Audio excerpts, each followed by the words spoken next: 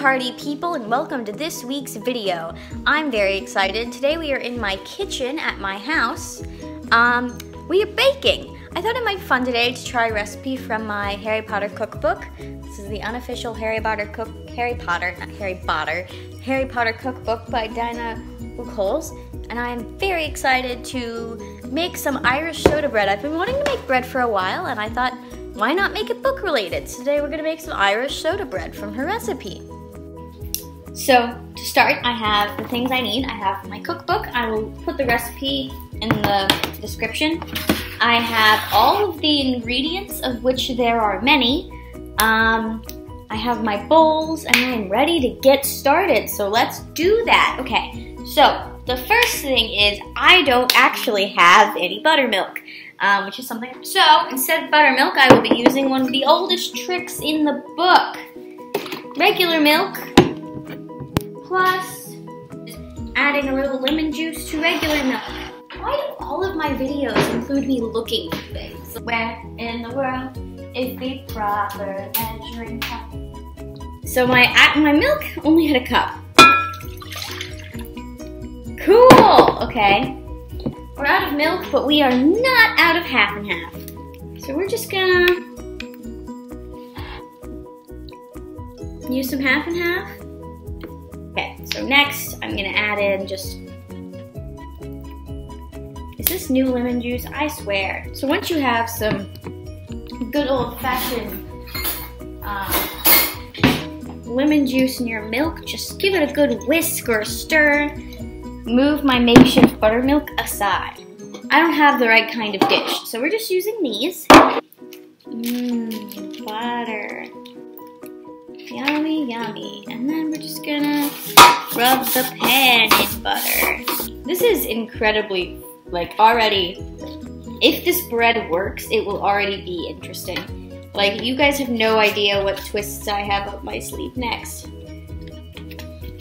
in terms of what ingredients we do and do not have. Uh, it's chaos time.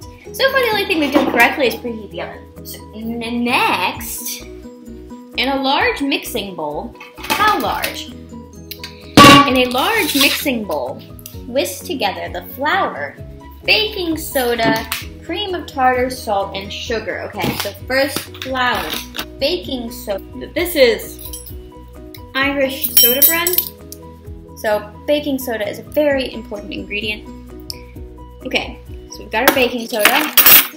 Cream of tartar, okay, here's another confession. I don't have any, but I googled and many sources say use white vinegar. We're gonna put that in the liquid later. Salt.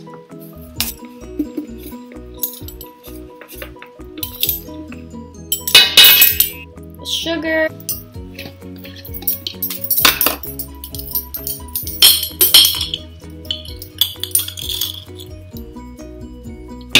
two,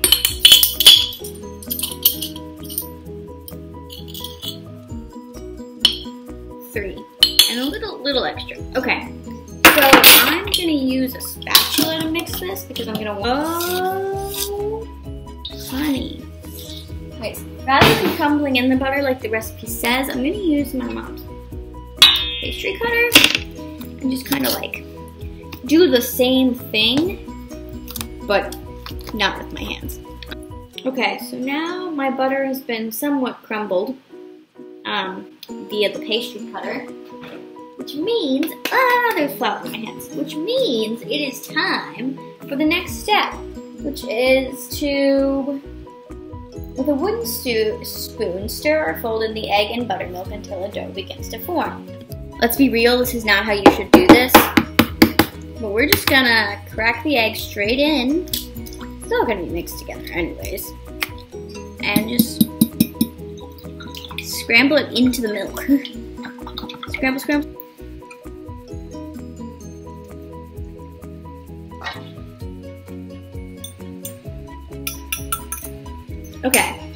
Cream tartar.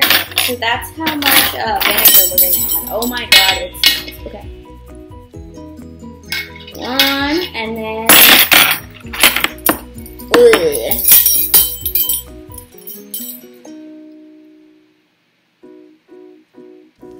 I am trying to mix with one hand, so like the action's not great. But this is, this is, you know what's, what's going on.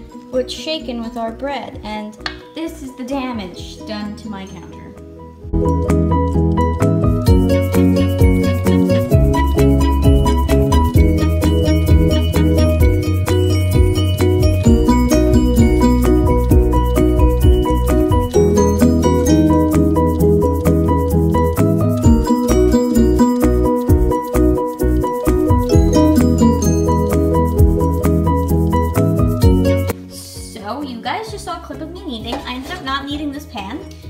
Kneading this pan, haha.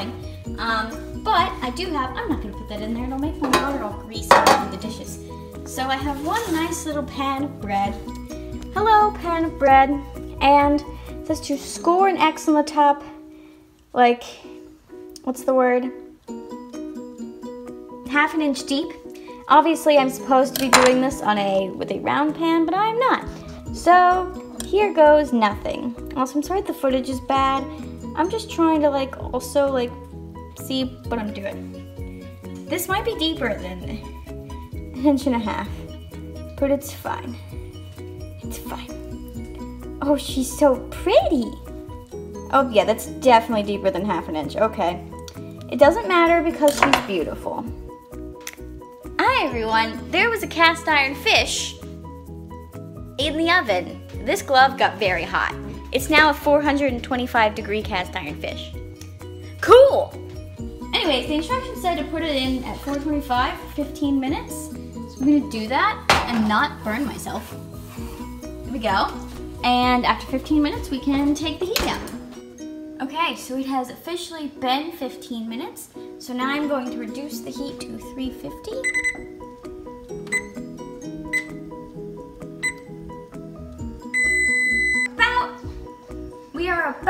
Halfway through our cook time. So I'm just gonna give our little birdie boy an itsy bitsy test with the red thermometer. Okay, so now here's the part where I try not to burn my hand. Homegirl looked like she was gonna burn, so I took her out about six minutes early.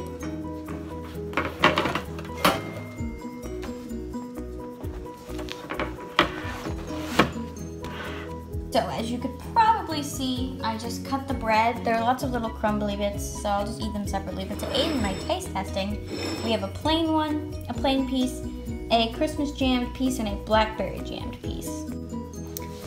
Now it's time for me to taste the bread. So I think first I'm just gonna taste like the bread itself, nothing on it. The texture is nice, it feels fully cooked. Um,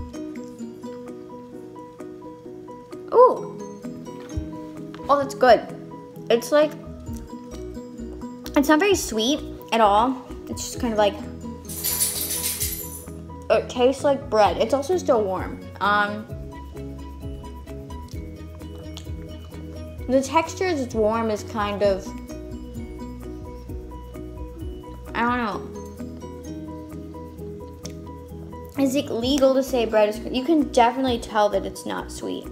So next let's go for the blackberry. Ooh, the, the jam is like bled a little. Mmm. Wow. That's good. Yeah. Once you give it like some jam. Mmm. Yeah. Wow, that's good. Um.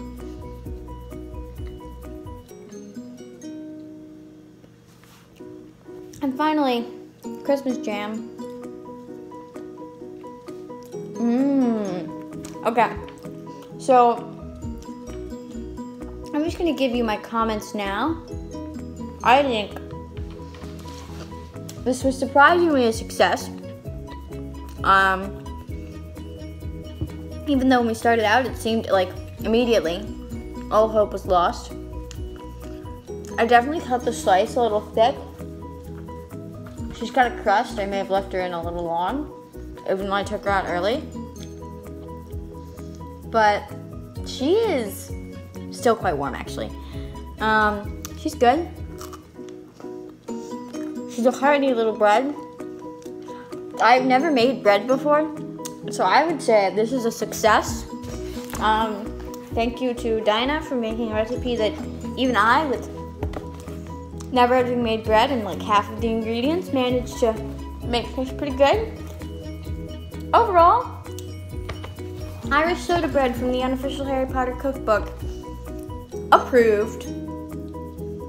Also, in case you're wondering the reference, um, at the top of each recipe in the book, um, Diana has put um, like a reference to where it comes in the book. So for this one, it says Irish soda bread. Mrs. Weasley always seemed prepared when it comes to food. Harry can burst in on her in the middle of the night and she'll still be able to serve him a nice meal.